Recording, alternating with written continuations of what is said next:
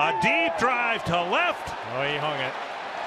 Gone. A home run for Miguel Sano. Yeah, Green hung that curveball right there ahead in the count. Sano did not miss it.